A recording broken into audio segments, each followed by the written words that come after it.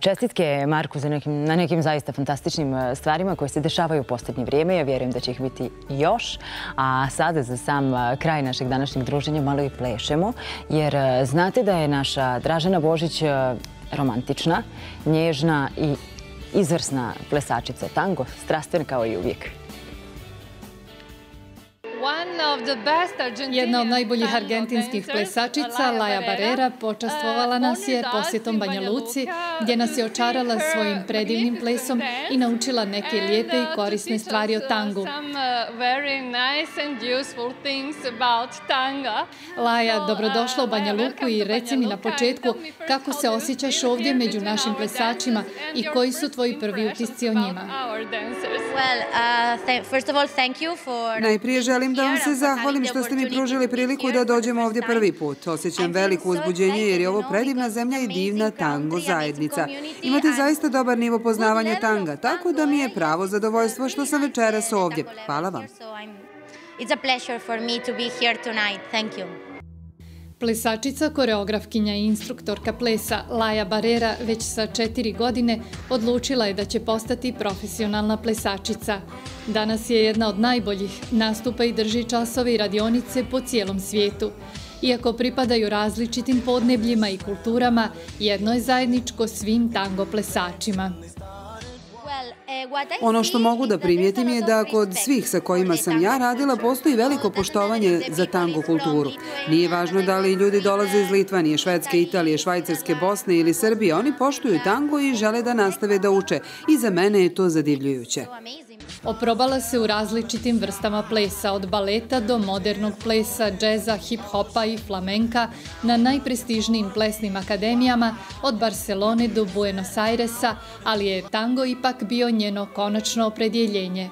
Brojni su razlozi za to, a najvažnije da je tango izabrao nju. Uh,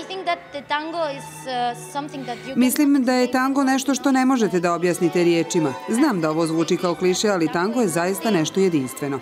Nema plesa koji mu je sličan, jer to nije samo ples, nego i sve što se dešava oko njega, ono što ga okružuje, sam osjećaj i cijela kultura vezana za tango. Ono što možete ovdje da nađete, ne možete ni na jednom drugom mjestu. To je jednostavno tango i zbog toga mislim da je to moj život. Jedno je plesati tango iz zadovoljstva, a nešto sasvim drugo spremati se za svjetsko takmičenje na kojem je svake godine sve više takmičara iz cijelog svijeta i sve više kategorija.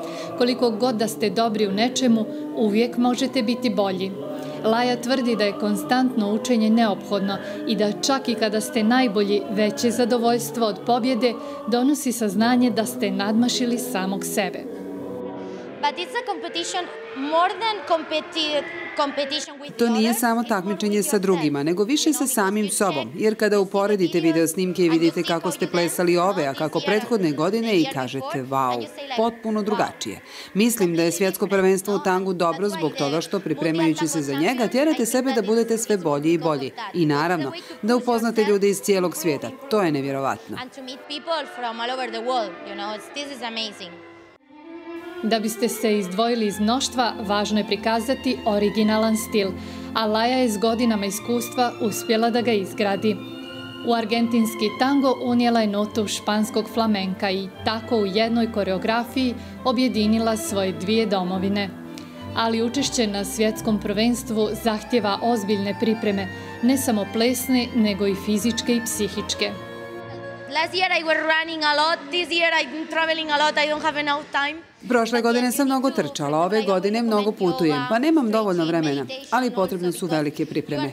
Na primjer, uvijek preporučujem jogu, istezanje, meditacije također, jer plešete pred prijateljima, kolegama, profesionalcima, organizatorima iz cijelog svijeta i morate svega da budete svjesni, a da ipak ostanete smireni.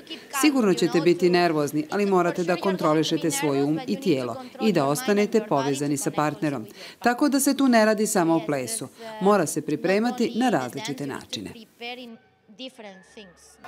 Za one koji se tek upoznaju sa tangom, Laja ima samo jedan savjet. Preporučujem da budete iskreni, jer to je jedini način da nađete svoju vlastitu zvijezdu. Nemojte da budete nečija zvijezda, budite svoji. To je za mene tango. Vidjela sam vaš nastup i bio je nevjerovatan. Hvala vam. Zato moram da vas pitam da li biste me naučili nešto novo da bih poboljšala svoj tango ples. Naravno.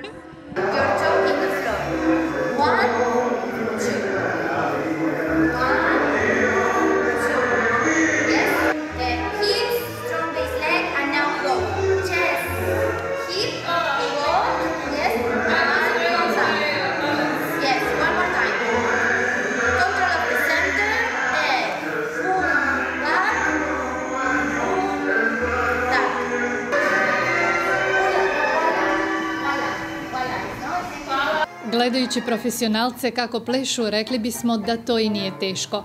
Ali i za tango, kao za sve dobre stvari u životu, potreban je trud i posvećenost. Ipak, kada imate priliku da učite od najboljih, onda je to prava privilegija. Rekla sam ja da je naša Dražana izvrsna plesačica. Čuli ste ples i ljubav, muzika i ljubav i sve oko nas je. Ljubav poželimo li je e, mi tako gledati? Ono što vam ja želim e, od srca jeste da uživate e, u narednim danima. Biće tu sunca, bit će zaista lijepe temperature za ove jesenje dane, pa iskoristite priliku i za šetnju pa možete tu i po gradu na kraju krajeva. Najbolje bi bilo da skoknete negdje u prirodu. Sezona gljiva još traje. Moram najaviti i našu reportažu Mala škola gljivarstva iz Pecke gdje možete naučiti sve o gljivama. Ima ih tamo negdje do samog početka novembra mjeseca, utorak od 21 sat i 40 minuta. Uživajte u današnjem danu, uživajte u narednim danima, slušajte dobru muziku, budite s dobrim ljudima i nasmijani. Mi sada slušamo Mariju Šerifovića, sutra od 7 časova s vama je Sandra prijetno i do gledanja.